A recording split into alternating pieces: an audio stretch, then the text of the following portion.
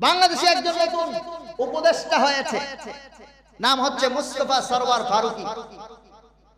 উনি ছবি নির্মাতা, করুক ওনার ব্যাপার সেবা। ছবি হালাল না হারাম, সমকামিতা, পুরুষ ও পুরুষে আকাম, হালাল না হারাম। শুধু হারাম না, আল্লাহর গজব আসবে। বাংলাদেশে একটা ছবি নির্মাণ হয়েছিল। এই ছবিতে সমকামিতাকে সাধারণ বিষয় বলে প্রকাশ করা হয়েছে। এই ছবির নায়িকা হচ্ছে নায়িকা তিশা।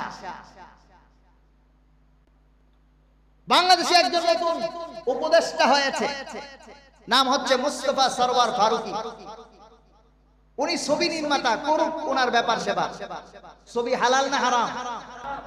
আমরা যদি হারামকে হারাম না বলি, তাহলেও আমরা গুনাহের সহযোগী।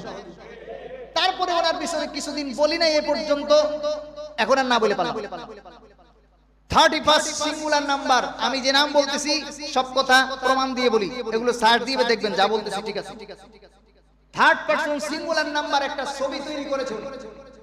সেখানে পরকিয়া একটা জিনিস সমাজে আছে না নাই? হালাল না হারাম?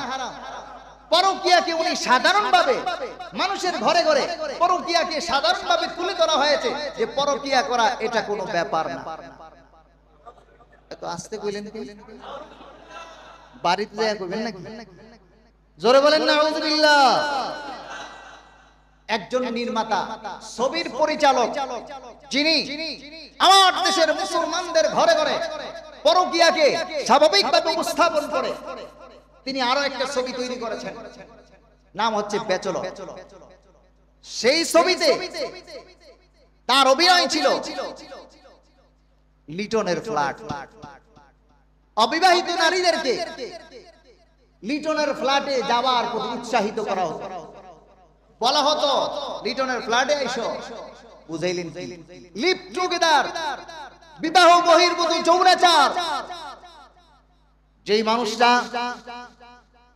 বাংলাদেশের বিরানব্বই পার্সেন্ট মুসলমানের দেশে, হাজিদের দেশে, মাদ্রাসার দেশে, কোরআন প্রেমিকদের দেশে পীর মাসেক অলি আউলার দেশে, অলি আউলিয়ার দেশে, নবী প্রেমিক রসুলের সৈনিকের দেশে যে সমস্ত মানুষ চৌরাচার পাপাচার সমকামিতাকে সমর্থন শুধু করে তারা পরকিয়াকে যারা মানুষের ঘরে ঘরে স্পষ্ট সাধারণভাবে পৌঁছে দিতে চায়, বাংলার মুসলিম তৌহিদি জনতা কোনদিন এ ধরনের উপদেশটাকে সমর্থন করতে পারে না পারে না পারে না।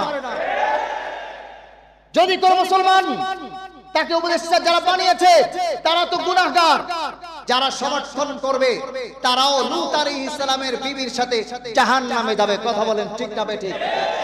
শুধু জাহান্নাম থেকে মুক্তির আশায় লূত আলাইহিস ইসলামের বিবি যেরকম আযাবে পতিত হয়েছিল, এই আযাব থেকে বেঁচে থাকার জন্য কোরআনের বাণী আপনাদের কাছে পৌঁছে দিতে চাই, বোঝাতে চাই। কোন নাস্তিক, বেঈমানকে সমর্থনকারী বাংলার মুসলমানে মুসলিম তাওহীদি জনতা এটা কোনোদিন মেনে নিতে পারে না। আসুন। কোরআনের পক্ষে চলুন। কোরআনই মানুষকে দিতে পারে। একমাত্র সমাধান শান্তির পথ। কথা বলেন ঠিক না বেটি যেতে হবে খালি হাতে। যেতে হবে খালি হাতে।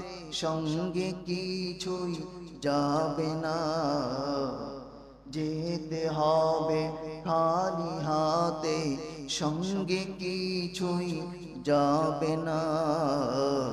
সাড়ে তিন হাত জায়গা পাবি পাবি না রে বিছানা।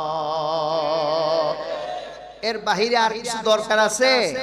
সুতরাং এত টাকা পয়সার দরকার কি? হ্যাঁ পয়সা দরকার, দান করার জন্য। পয়সা দরকার হযরত ওসমান ফারুক, ওসমান গনি রাদিয়াল্লাহু আনহুর মতো। আল্লাহ তালা আমাদেরকে বড় লোক ভাইদেরকে হজরত ওসমান গানি, সাহাবি, জিন্দিগি যাপন করার তৌফিক দান করুন।